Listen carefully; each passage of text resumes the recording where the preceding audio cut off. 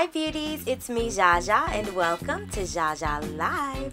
Long time no see, I know, and I do apologize for that. But there was absolutely no way I was going to go without showing you beauties my individual faux locks that I had installed professionally. My stylist did an excellent job. I love, love, loved this style so much. But they have been in for a month and it's time for me to say goodbye to them for now. But I just wanted to come on and show you beauty some of the fun styles that I've been doing with these over the summer.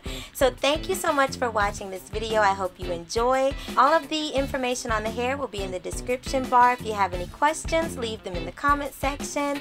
And don't forget to thumbs up and subscribe. Bye-bye.